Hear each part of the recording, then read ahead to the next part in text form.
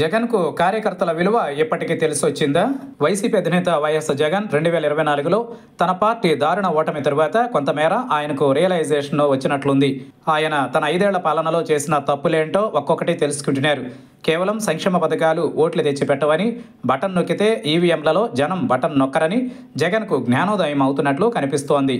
కేవలం తాడేపల్లి ప్యాలెస్కే పరిమితం కావడం నేతలను ప్రజలకు దూరం చేయడంతో పాటు వాలంటీర్ల వ్యవస్థతో తాను కొత్త వ్యవస్థను తీసుకువచ్చాననే భ్రమలో ఉన్నానని అర్థమైనట్లుంది. కేవలం నగదు ఇచ్చినంత మాత్రాన ప్రజలు సంతృప్తి చెందరని వారికి అభివృద్ధి కూడా కావాలని వైఎస్ జగన్కు క్రమంగా బోధపడినట్లుంది. ఇక పార్టీకి పట్టుకొమ్మలైన కార్యకర్తలను దూరం చేసుకోవడంపై కూడా ఆయన అంతర్మదనం చెందుతున్నారు.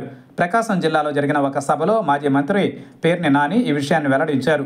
జగన్ జనాన్ని బాగు చేద్దామని కార్యకర్తలను మరిచిన మాట వాస్తవమేనని అంగీకరించినట్లు ఆయన తెలపడం కూడా జగన్ ఆలోచనలో మార్పు వస్తున్నట్లు కనిపిస్తోంది.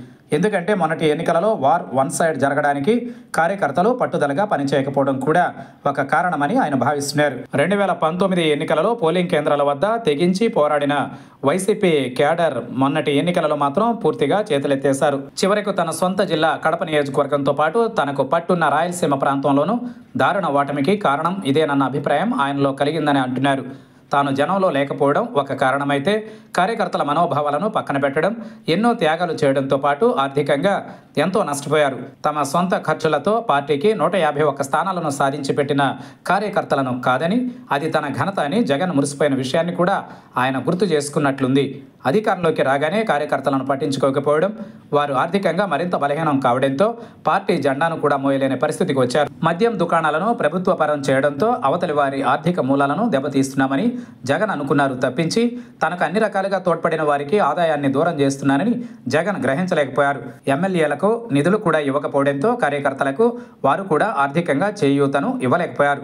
తామే నష్టపోయామన్న పరిస్థితుల్లో ఉన్న నాటి ఎమ్మెల్యేలు కార్యకర్తలకు ఏం పంచిపెడతారన్న ప్రశ్నకు ఇప్పుడు జగన్కు సమాధానం దొరికినట్లయింది. అయితే జగన్కు ఎందుకు క్యాడర్ అవసరమో ఇప్పుడు అర్థమైనట్లుంది. అయితే ఇప్పటికీ వైసీపీకి క్యాడర్ బలం తక్కువగా లేదు. దానిని ఈ నాలుగున్నరేళ్ళలో మళ్ళీ యాక్టివ్ చేయగలిగితే సక్సెస్కు దారి జగన్కు దగ్గరలోనే ఉంటుందన్న విశ్లేషణలు వినపడుతున్నాయి.